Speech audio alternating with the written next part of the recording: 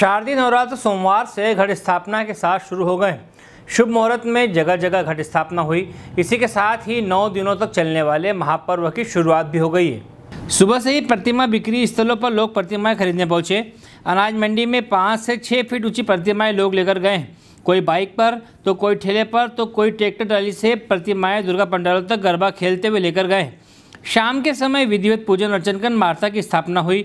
महाआरती के बाद आराधना स्वरूप गरबों की मनमोहक प्रस्तुतियाँ भी दी जाएगी। नवरात्र के चलते सुबह से देर शाम तक माहौल धर्ममय बना रहा। नवरात्रि के पहले दिन से ही शहर के विभिन्न पंडालों में गरबों की धूम मचेगी। देर शाम तक गरबों को देखने के लिए श्रद्धालुओं की भीड़ रहेगी। खरगोन से जयंत गुप्ता की रिपोर्ट।